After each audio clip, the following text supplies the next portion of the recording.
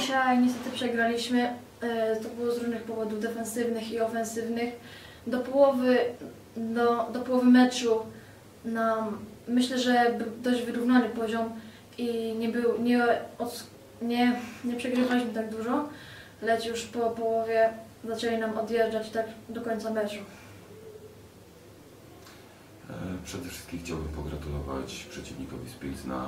Zagrali bardzo dobry mecz w defensywie i co powodowało, że mogli fantastycznie grać szybkim atakiem. E, I to, że tak powiem, było kluczowe do tego zwycięstwa. Oprócz tego zagrali świetnie na tablicach jednej i drugiej. Dużo piłek nam zebrali pod naszym koszem, e, co stwarzało im sytuację do ponowienia akcji i trafili dużo razy za trzy punkty, ponieważ trochę, że tak powiem, odpuściliśmy ten, ten fragment gry. Jeszcze raz chciałbym pogratulować e, przeciwnikowi z Pilsna i dziękuję bardzo.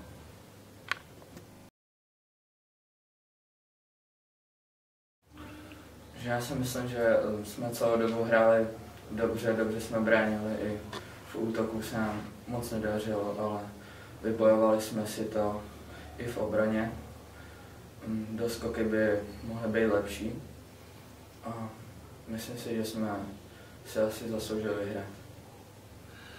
Eh, Já souhlasím, já si myslím, že eh, dnešní utkání bylo naším nejlepším výkonem tady eh, v tom perfektním turnaji. Já klukům děkuji a doufám, že budeme v těchto výkonech pokračovat dále. Já jsem spokojený.